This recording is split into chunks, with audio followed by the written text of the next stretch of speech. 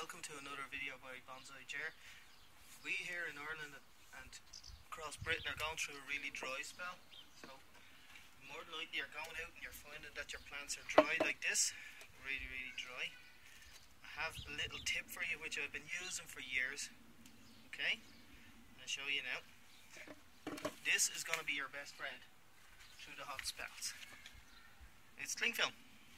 Now normally do is water the tree down like such.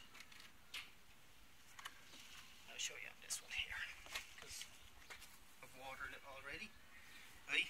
And when I'm watering the trees, I use a bottle like this, cover it with fingers, let the water drip out like this.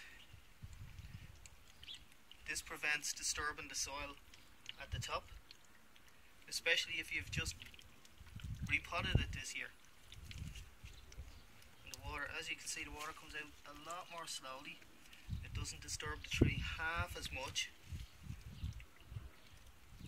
Then, you do is, you get our cling film,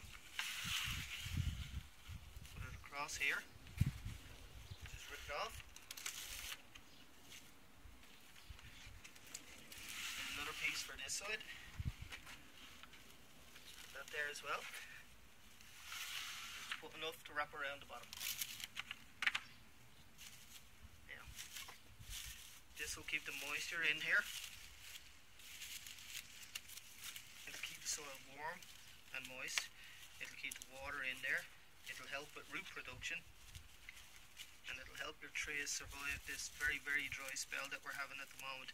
It also means that you use less water, so less water wastage. And that's our tip for today bit of cling film could save all your trees. Thanks for watching.